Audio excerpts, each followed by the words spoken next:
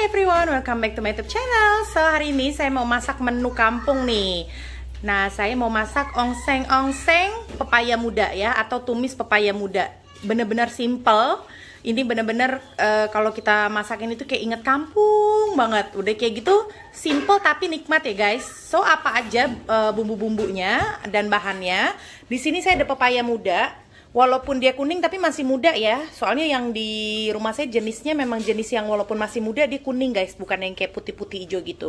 Oke di sini saya pakai dua uh, pepaya mengkel pepaya muda ya. Udah kayak gitu saya udah serut. Soalnya kalau mau potong-potong uh, lama jadi saya serut aja memanjang kayak gini. Bumbu-bumbunya di sini ada bawang merah bawang putih lengkuas cabai rawit dan cabai besar Terus ada daun salam. Nah, bawang merahnya di sini saya pakai kira-kira 9 uh, eh, ulas, bawang putihnya saya pakai 6 ulas, lengkuasnya 4 iris aja, cabai rawitnya saya pakai 10 dan cabai hijau besarnya 3, cabai merah besarnya 2 ya. Daun salamnya 2. Udah kayak gitu di sini saya mau kasih udang ebi ya atau udang rebon ini namanya. Uh, udah saya rendam air. Terus airnya sudah tirisin. Udah kayak gitu saya nanti mau kasih kecap manis sedikit aja untuk mempercantik warnanya. Oke guys, silahkan di screenshot bumbu-bumbunya. Oke, sekarang kita akan langsung mulai menumis. Oke, sekarang kita mau numis bawang merahnya dulu guys. Bawang merah kita tumis sampai agak layu sedikit.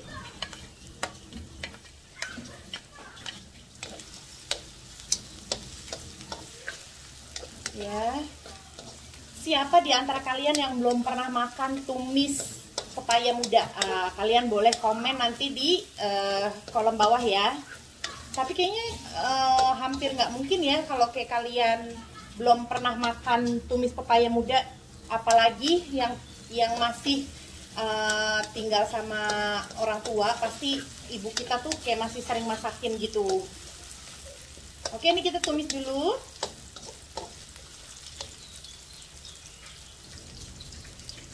Nah, kalau udah agak layu, kita mau masukin bawang putih dan lengkuas. Ya, bawang putih, lengkuas dan cabai rawitnya. Oke. Cabai rawitnya. Kalau yang cabai hijau besar dan cabai merah besar kita bakal masukin terakhir karena untuk uh, pewarna ya, teman-teman ya. Nah, bawang putih udah masuk, lengkuas udah masuk, kita masukin juga daun salam biar dia layu. Ini kita tumis sampai bawang putihnya berubah warna.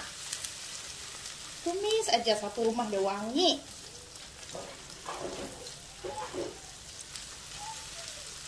Tumis, kita tumis. Kalian masak apa hari ini? Jangan lupa komen di bawah ya. Siapa tahu saya jadi ada ide juga untuk bikin uh, resep yang kalian uh, masak ya. Tapi versinya nanti versi saya. Jadi kayak kita bisa uh, sharing resep-resep terbaru. Oke, ini kita masih diamin dulu. Kita tumis kira-kira satu menit. Guys. Halo. Hai guys guys. Mama. Lagi asik nonton video ya? Nah, sekarang kalian boleh lihat di bawah layar video kalian ada tombol merah yang tulisan subscribe seperti ini. Kalian boleh terus tekan karena ini gratis. Setelah kalian tekan tombol merah yang ada tulisan subscribe ini, kalian boleh juga tekan gambar lonceng.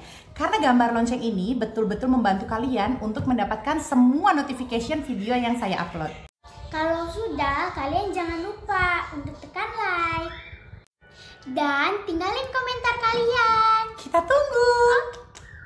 Oke, kalau kalian suka sama video ini, jangan lupa share ke semua sosial media yang kalian punya. Thank you guys. Nah, bawang putihnya udah berubah warna. Sekarang kita masukin udangnya guys. Udangnya jangan lupa direndam dulu ya. Yang mau masuk udang boleh, yang mau masuk ikan teri juga boleh yang nggak mau masuk apa-apa juga boleh ya nah ini kalau udah sekarang kita boleh masukin si pepayanya ya jadi pas masuk udang tuh kita numisnya nggak usah terlalu lama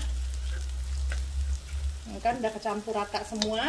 Sekarang kita boleh masukin pepaya mudanya. Pepaya mudanya jangan lupa dicuci ya.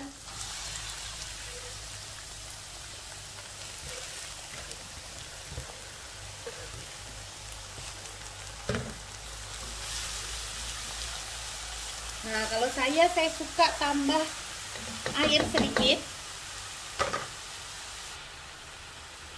Masuk air dikit, dikit aja ya, jangan banyak-banyak karena nanti dia terlalu lembek. Nah, di saat kayak gini kita boleh masukin bumbu nih, guys. Garam perasa gitu ya. Saya mau tambahin dulu kecap manis sedikit biar warnanya menggairahkan. Dan langsung nih kita masukin garam.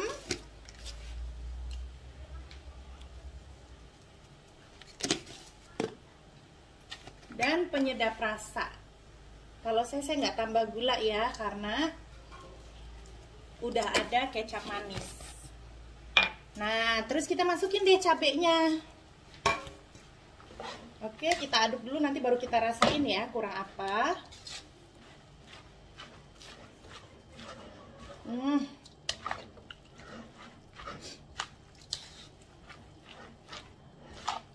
Mantap banget nih guys.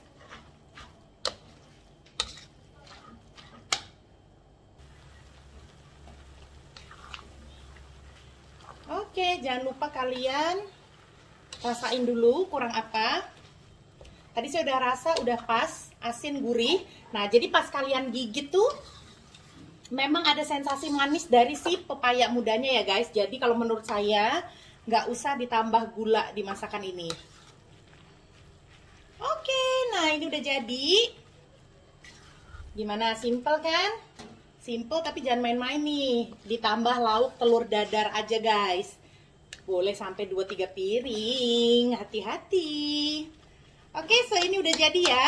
Sebentar lagi saya mau pindahin ke dalam mangkuk dan saya tunjukin ke kalian.